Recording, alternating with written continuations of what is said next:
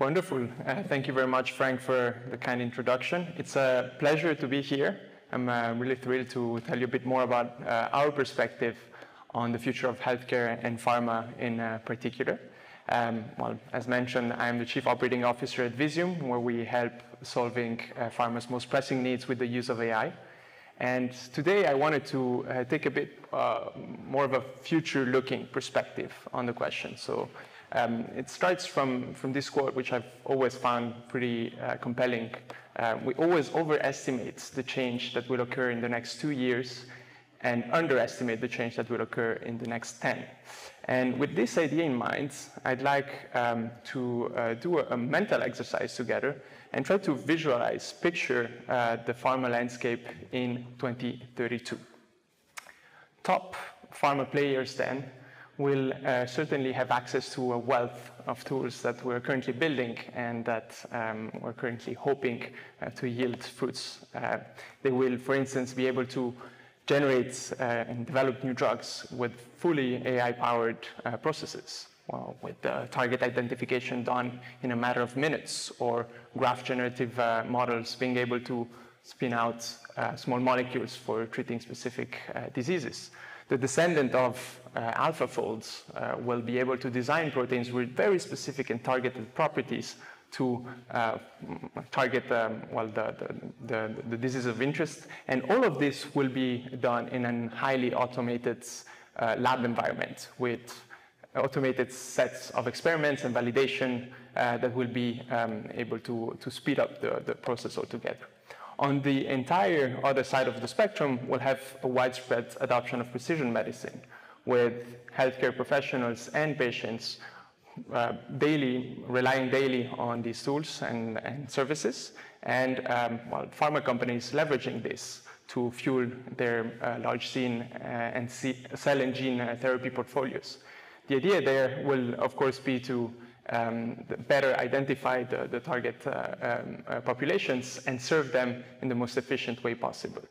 Now, you may ask, with, with this brave new world in mind, where uh, will pharma companies actually compete and how will they be able to beat um, the competition?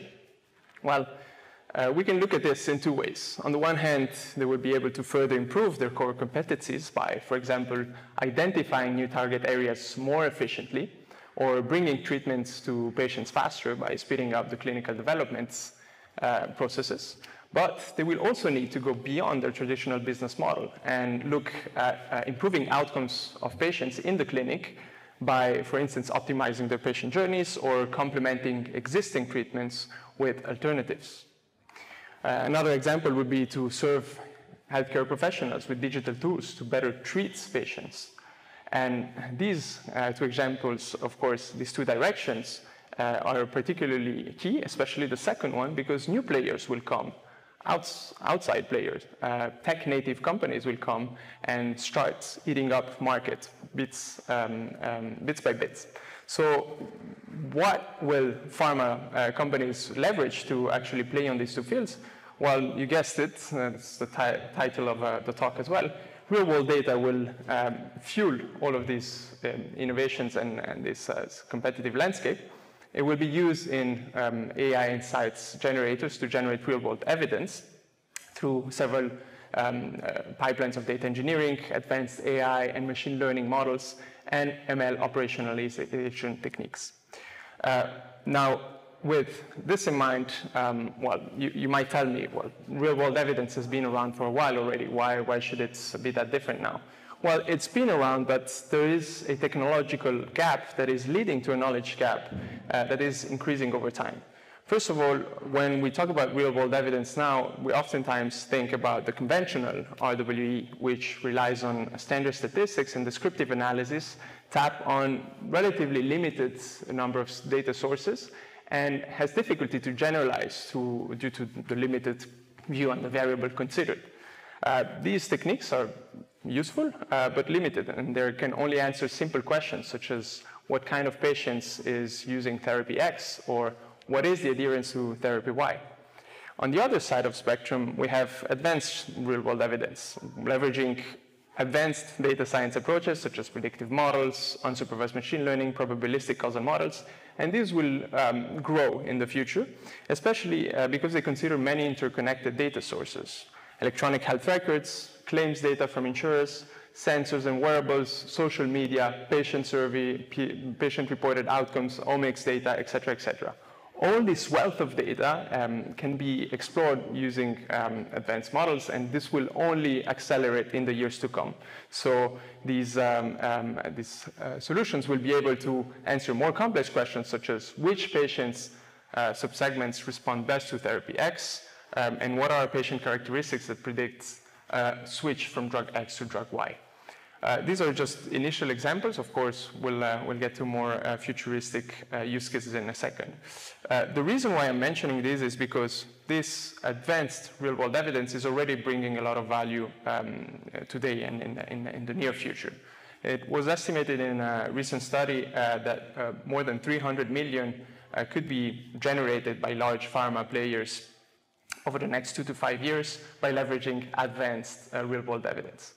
Uh, this can be done on the one hand by optimizing bottom line, so reducing costs uh, on, on, on, clinical trials.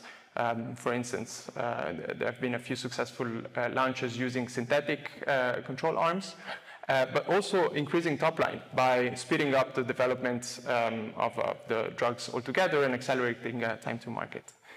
Let me perhaps spend a few minutes on talking you through some of the uh, existing successes in, in real-world evidence and how these affect the full value chain uh, of pharma and not only market access as it's sometimes believed.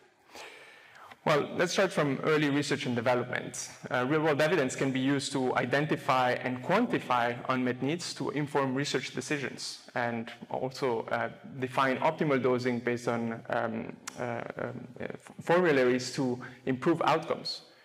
In clinical development, innovative trial design, uh, such as the ones just mentioned, using synthetic control arms, can uh, reduce significantly the costs of uh, the operations, and improved trial design can um, be leveraged, uh, can leverage real-world evidence, uh, for instance, to better determine the inclusion and exclusion criteria, um, the definition of uh, the sample sizes required for certain studies, accelerate recruitment, select sites, um, and um, overall accelerate time to market. If we look at market access, this is the um, uh, prime example um, and where it all started from. In a certain sense, the value that uh, real-world evidence bring is um, the, the, the, uh, the, advantages of a given product compared to existing solutions. So showing the economic value, comparing trial data with real-world data to make sure uh, that the submission is strong, and um, enabling outcome-based pricing as well.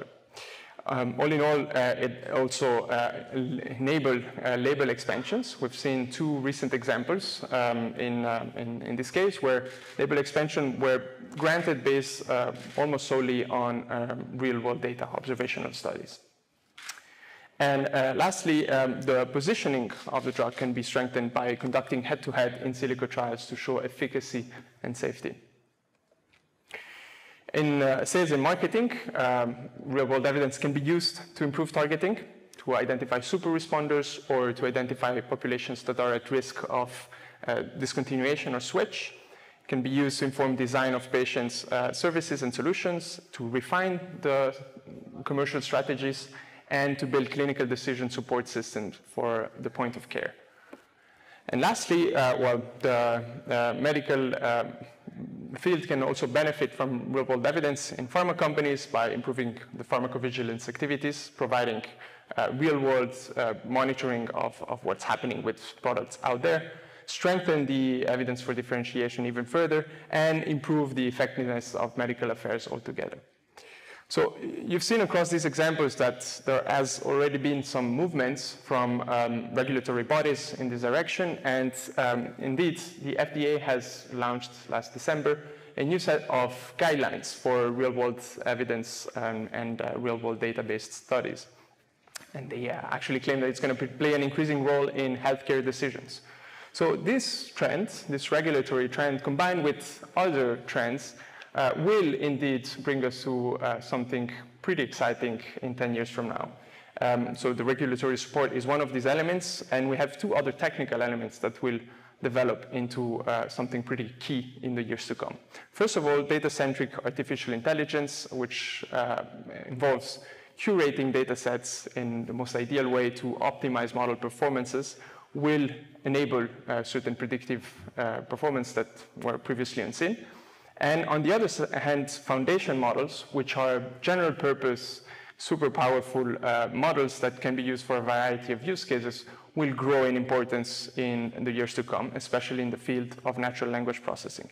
You might have seen some of these foundation models without knowing uh, them yet, but for instance, if you saw images of Stable Diffusion or DALL-E in the last few weeks, well, this is the class of models that we consider as foundation models. Together, these trends will um, enable some um, use cases in 10 years from now across uh, the, the, the, space. Um, for instance, we'll be able to interrogate healthcare patients, uh, uh, healthcare uh, professionals and patients as if they were in the room. Using these super advanced natural language foundation models will leave no clinical notes unturned.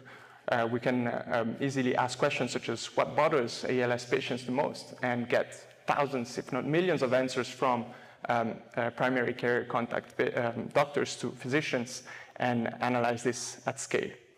Secondly, data-centric AI will uh, be paramount to efficiently fuse data sources, uh, combine, for instance, omics profiles and outcome data to guide cell and gene therapy in covering all patients with precision medicine and not focusing only on the, on the main population. So really serving the underserved populations too.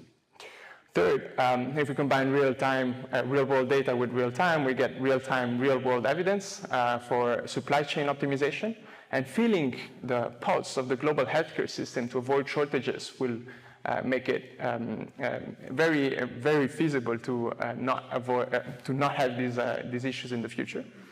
And lastly, but certainly not least, um, combination of digital and physical therapeutics will drive outcome-based medicine, and serving digital therapeutics will be paramount to pharma players as well especially for the risks mentioned in the introduction around the uh, entry players. And, and, and uh, it's no surprise that Google and Amazon are also entering the healthcare space. So uh, real world data will be the fuel to this uh, trans transformation as well. So you, you might wonder, now, now, this is very nice, it's uh, 10 years ahead, but where do we start?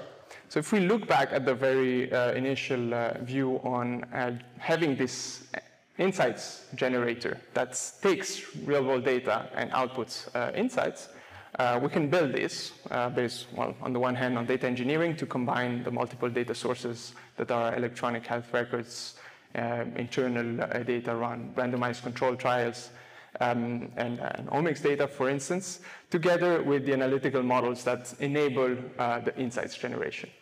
And um, if we then provide the good input to ask the right questions in um, the insight generation uh, process through a solid uh, foundational strategy, we can then obtain the insights and distribute them both internally and externally to, for instance, patient, regulators, or hearing uh, healthcare professionals in the future.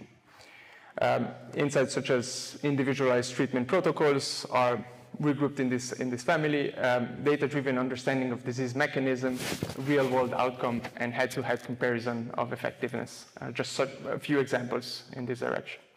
This might sound a bit complex, so um, you, you, might wonder, well, great, but where should I really start from now?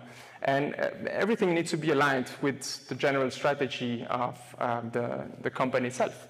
What is the precision medicine strategy that the company is, is trying to achieve? what is its competitive strategy.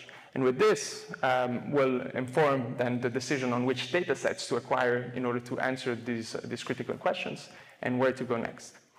So happy to uh, take any questions now. Thank you very much for your attention and um, hope to speak to you at our booth as well.